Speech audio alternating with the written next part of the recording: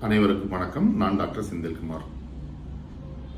ஒரு பெண் வந்து ஒருத்தவங்க கேள்வி கேட்டிருக்காங்க.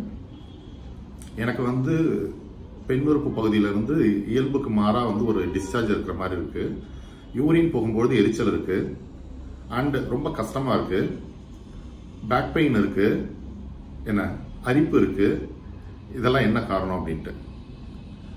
ஆக்சுவலி அவர் சொல்லியிருக்கிற விஷயத்துல வந்து அவங்களுக்கு வந்து மல்டிபிள் செக்ஸ் பார்ட்னர் இருக்கிறாங்க அப்படின்ற மாதிரி அவங்க சொல்லியிருக்காங்க. ஒருத்தருக்கு மேற்பட்ட உடலுறவு ஒருத்தருக்கு மேற்பட்ட நபர் கூட உடலுறவு வச்சிருக்கேன் அப்படின்ற மாதிரி அவங்க சொல்லியிருக்காங்க. ஸோ செக்ஷுவல் டிரான்ஸ்மிட்டட் டிசீஸ் நீங்கள் வராமல் தடுக்கணும் அப்படின்னா ஃபர்ஸ்ட் நீங்கள் பண்ண வேண்டியது மல்டிபிள் செக்ஸ் பார்ட்னரை அவாய்ட் பண்ணணும். உங்களுடைய லைஃப் பார்ட்னர் யாரோ அவர் கூட மட்டும் செக்ஸ் வச்சுக்கிறது நல்லது. தவிர்க்க முடியாத காரணத்தினால வேற ஒருத்தர் கூட நீங்கள் செக்ஸ் வைக்க நேரிடுது அப்படின்னா கண்டிப்பாக அந்த ஃப்ளூயிட் டிரான்ஸ்மிஷன் நடக்கிறத வந்து நீங்க தடுக்கணும். காண்டம் யூஸ் பண்ணி செக்ஸ் வச்சுக்கிறது நல்லது. காண்டம் யூஸ் பண்ணாம எந்த காரணம் பண்ணிட்டு செக்ஸ் வைக்க வேண்டாம். அதே மாதிரி ஓரல் செக்ஸும் சேஃபா இல்லாம பண்ணவே கூடாது. சரிங்களா? உங்களுக்கு வந்து கிளமீடியா இருக்கக்கூடிய வாய்ப்புகள் வந்து இருக்கு. அல்லது வேற ஏதாவது சம் அதர் செக்ஷுவல் டிரான்ஸ்மிட்டட் டிசீசஸும் இருக்க வாய்ப்புகள் வந்து இருக்கு. நீங்க கிளமீடியா டெஸ்ட் மட்டும் பண்ணல. மற்ற டெஸ்ட் எல்லாமே பண்ணிருக்கீங்க அப்படின்றதுனால நீங்க கிளமீடியா டெஸ்ட் எடுத்துறது நல்லது.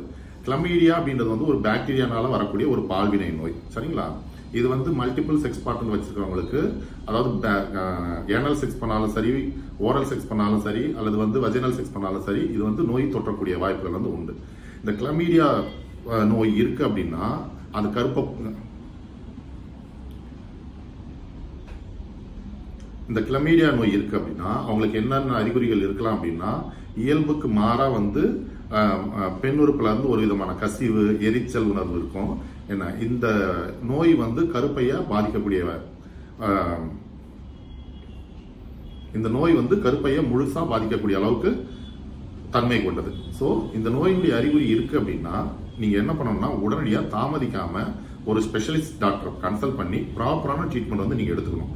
இது வைட் டிஸ்சார்ஜ் அப்படி நீங்களாம் வந்து கேர்லெஸ்ஸாக இருக்கக்கூடாது. மற்ற இது யூரினரி இன்ஃபெக்ஷன் அப்படின்னு சொல்லி கேர்லெஸ்ஸா இருக்கக்கூடாது. நீங்கள் உடனே ஒரு ஸ்பெஷலிஸ்ட் டாக்டர் கன்சல்ட் பண்ணி ப்ராப்பரான ட்ரீட்மெண்ட் வந்து எடுத்துக்கோங்க.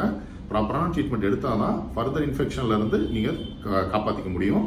ஸோ தயங்காமல் நீங்கள் ஒரு ஸ்பெஷலிஸ்ட் டாக்டரை உடனே கன்சல்ட் பண்ணி ட்ரீட்மெண்ட் ப்ராப்பராக எடுத்துக்கோங்க. நன்றி வணக்கம்.